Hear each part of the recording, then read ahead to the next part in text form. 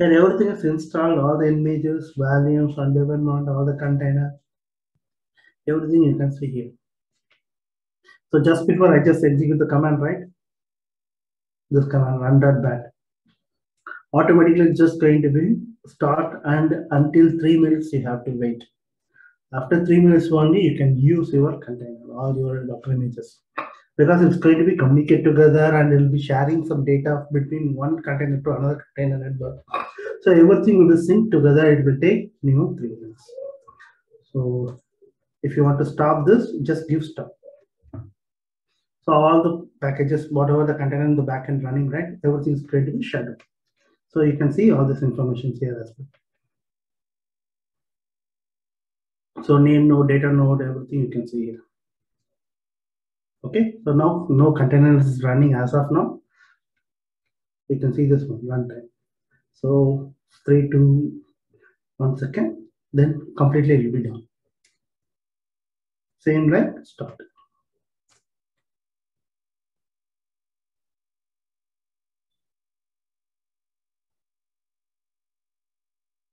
It's internally doing all the calculations. Uh, based on that, it's going to be run in a uh, step-by-step manner. First, which one we have to run it. Everything will be calculated, and then it's just going to be started. And you want to specifically run for Hadoop, then you can mention the command as well. Only I want to run the Hadoop command, then start Hadoop. That's it. So this this only is going to be execute all the Hadoop related services. Or you want to run, you have enough memory, enough RAM in your system. You have up to 32 GB or uh, 16 GB you have a RAM and you can execute efficiently. Then you can provide all command. Start. That's it. So everything is going to be boot up and start and running here. So Airflow, Hadoop, as well as the Spark and multiple data nodes, everything will be started. Yarn, Postgres, Hive, Airflow, Master, Spark, everything will be running in the back. So this many containers, you can run it. But you need enough memory. Otherwise, you can run the particular services. If suppose you are going to work with only Hive, you can provide the Hive command and you can execute it. Something like you want to run one, you want to practice only with Hadoop platform, just provide start Hadoop command. Then automatically that Hadoop service, everything will be kickstart. Then you can use it. Something like that correlations is available. Okay. Hope you are understand, right? Any questions?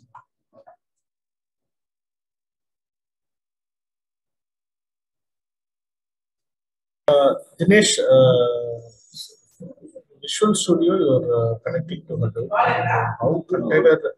How no, no, it's not a Visual Studio file. My practice, my continuous my practice in Visual Studio, this IDE, you can run from command prompt also from the local.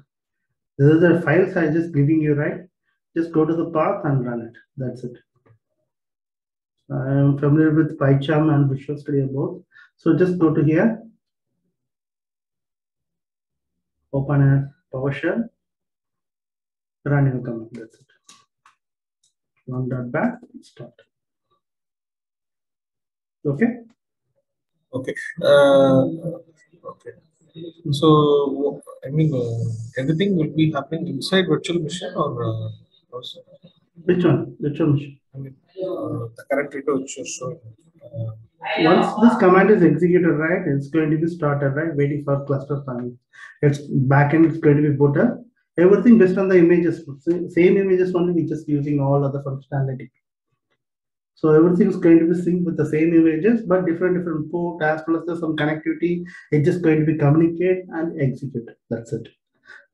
Before we have different different separate images, we just use it. But right now we just planning to make everything as a single image right now. And uh, we plan in the future for the Kubernetes, whatever we will create and we will club it right as single images. Everything we will be going to dismantle and create a separate services and make some combinations. That's, I'm sure the future we are going to do that via Kubernetes practice, but not right now. Okay. We have uh, some idea, but we will not be implementing it.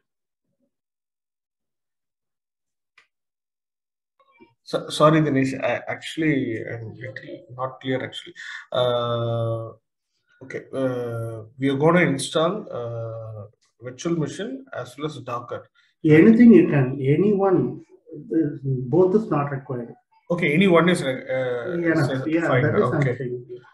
Okay. After installing, consider uh, install virtual machine. So, how will I kickstart the Hadoop uh, from PowerShell? Yeah, yeah, I will tell you. These are just basics. You just download and using it right now. That's it. After that, I will show you how you can utilize it. Oh, The communications, everything will be going to discuss. okay. Okay. Okay. Which will be good, Docker or uh, virtual machine uh, in terms If of you, real time? it's a standalone practice, only single node is going to be React, right? That you maybe go with s- standalone virtual machines. Okay. So these are completely standalone only. If you want to practice with multi-node, then Docker containers are best. Reality is Docker container only. Okay. Okay. So the cluster is boot up right. After three minutes, everything's over. Then just go 8088. You can see that Yarn information system. So right now I just executed with the five node cluster and the 20 GB RAM has been reserved and the 10 cores has been reserved. Depends on my system, it will be communicated. And then just go here 8888. There is the only one port number you want to establish. Okay, here all the all the your functionalities you can do it your own. So if you want to practice with Hadoop, you have a terminal. Just to click on the terminal and you can execute all your commands. Last time we just practiced, right? Same like it can execute all your commands here. So you want to increase the font sizes and you can use it. Or you want to change the theme from the dark mode to light mode, everything, it's up to you. These are open free for you, uh, all your practices.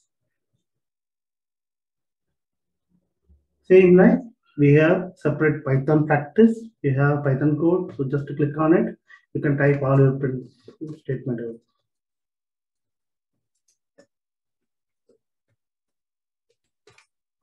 Okay, so you can save it. This code you can automatically save it. So launcher, hide. So hi, you can do all your practice as well. So you want to create the databases.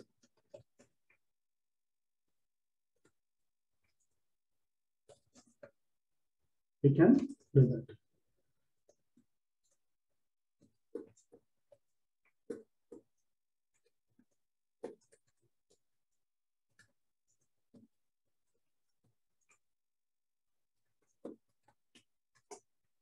Okay, like you can create as well as Spark also.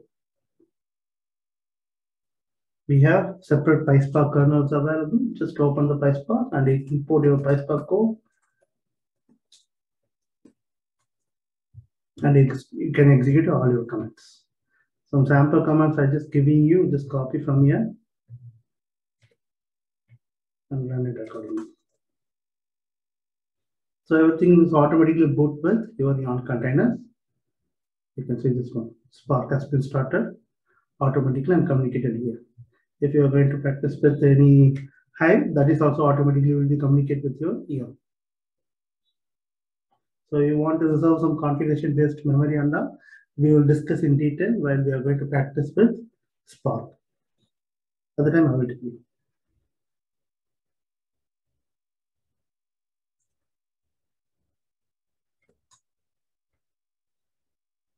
Okay, automatically the process engines will communicate and start all the process.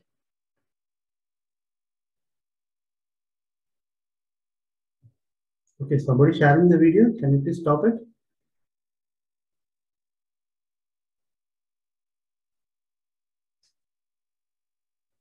Okay.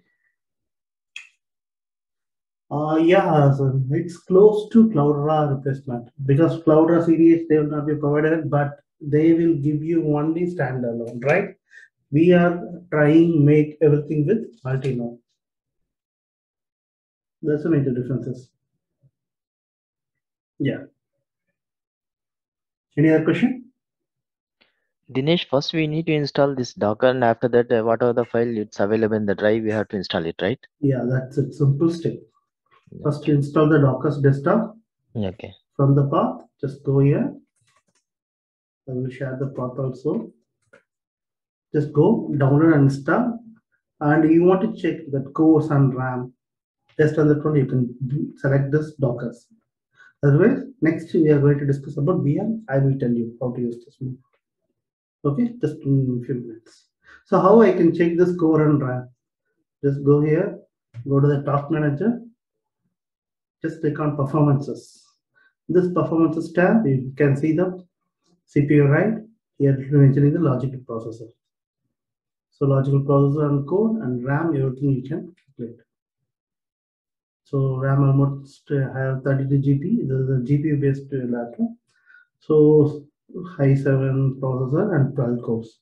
But it's it will run more than four core. That will be a fine. Okay, just check this point. That's it.